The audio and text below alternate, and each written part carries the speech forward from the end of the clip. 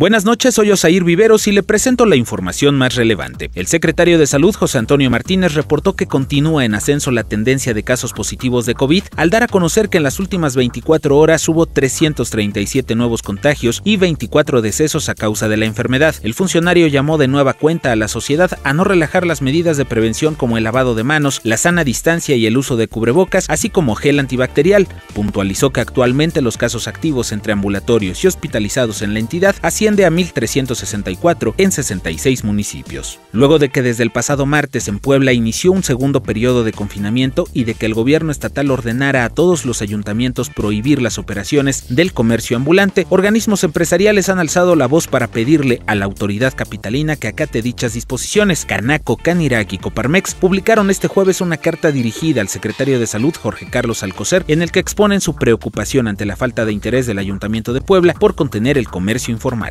Tras destacar que redoblarán los exhortos y en su caso la aplicación de la norma, René Sánchez Galindo, secretario de Gobernación Municipal, dio a conocer que en el centro histórico solo 32% del comercio establecido y 41% de ambulantes cumplieron el decreto del gobierno del estado. Puntualizó que ante la negativa de dichos sectores para dejar de instalarse por lo menos hasta el próximo 11 de enero, realizaron 25 operativos para retirar el mismo número de puestos mediante diferentes mecanismos como el diálogo, decomisos y arrestos. Será este viernes 1 de enero de 2020 cuando concluya el mejoramiento del barrio de Los Sapos, aseveró Eduardo Cobian Carrizales, secretario de Movilidad del municipio de Puebla, al destacar que se encuentran en los detalles finales. El funcionario dio a conocer que solo resta conectar la iluminación a la red de alumbrado público, el equipamiento de parklets y la sustitución de bancas. México cierra 2020 con 34.523 asesinatos en medio de la violencia ligada al crimen organizado, lo que representa una ligera disminución del 0.4% al comparar con 2019 según estimaciones de la Secretaría de Seguridad divulgadas este jueves. Las estadísticas del Sistema Nacional de Seguridad Pública ubican la tasa de homicidios por cada 100.000 habitantes en 27.01 con una baja de 1.3% comparada con el año pasado. Para más noticias consulta el portal tribunanoticias.mx.